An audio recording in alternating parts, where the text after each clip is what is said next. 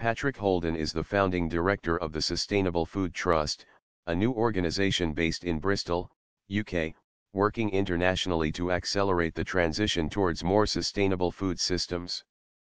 After studying biodynamic agriculture at Emerson College, he established a mixed community farm in Wales in 1973, producing at various times, wheat for flour production sold locally, carrots, and milk from an 85-cow Ayrshire dairy herd, now made into a single farm cheddar-style cheese by his son Sam.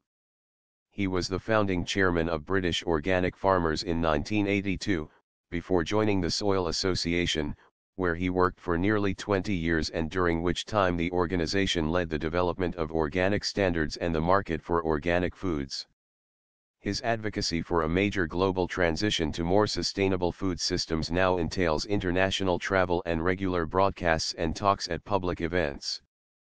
He is patron of the UK Biodynamic Association and was awarded the CBE for services to organic farming in 2005.